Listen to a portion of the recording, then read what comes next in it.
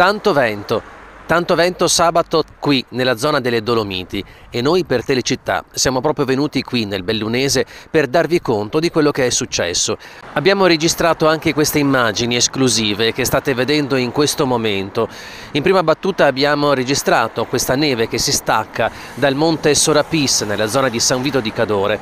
Come potete vedere queste nuvole che si formano non sono delle nubi vere e proprie ma sono delle nuvole proprio di neve che vengono spostate dal forte vento, raffiche anche di 120 km orari.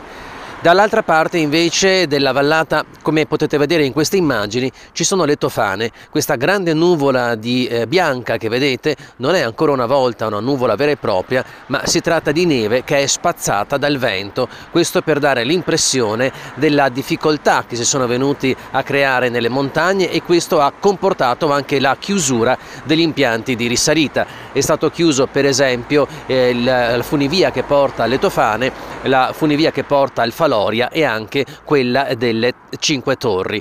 Eh, per strada tanti rami che si sono staccati dagli alberi e che hanno colpito anche delle automobili, ma soprattutto che hanno imbrattato le strade, la statale 51 verso Cortina.